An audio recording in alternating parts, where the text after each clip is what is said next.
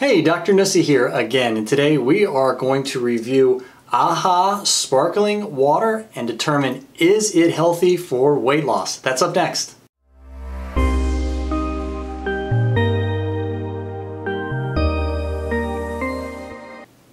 Okay, so getting right into it, we are looking at AHA. This is a sparkling water and we are going to determine if it's healthy for weight loss. Is this a product that is useful to use when trying to lose weight, when trying to lose body fat? Is this something that will hinder you or is this a product that is approved, that is all clear, that is compliant with keto and low cal and low carbohydrate diets?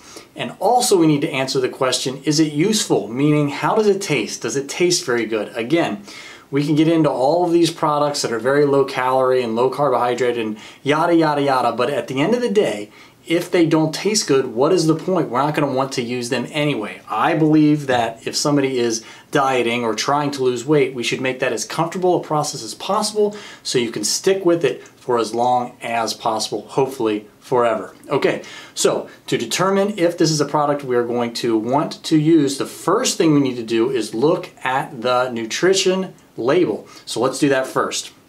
So if we look at the label, this one is fairly simple, fairly straightforward. This is what we call a triple zero product.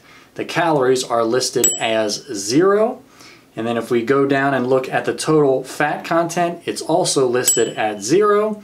And then most importantly, in all of these cases, when trying to do these low carb, keto type of diets, are going to be the carbohydrates. And they are also listed as zero, including the total sugars being zero and no added sugars. Okay, so a triple zero product is usually a pretty good idea as far as a product that we can use when doing these types of weight loss programs. But we also need to look at the ingredients because there is a trick here. When using drink products, especially um, products that have zero calories and are drinks, we need to make sure they don't have artificial flavor sweeteners, artificial sweeteners such as sucralose or aspartame. Those products, those sweeteners, those artificial sweeteners have been linked to certain health conditions and also to weight gain. So we've got to make sure this does not contain artificial sweeteners. Let's look at the ingredients. Again, this one is very simple, very straightforward. It's a little difficult to see because they listed them vertically, listed the ingredients vertically for some reason, but there's only two. Carbonated water and natural flavors. So there's only two ingredients, nothing unnatural about it whatsoever. Somehow AHA has figured out a way to make a product uh, that is flavored and does and contains no calories and is not sweetened with anything artificial, namely sucralose and or aspartame.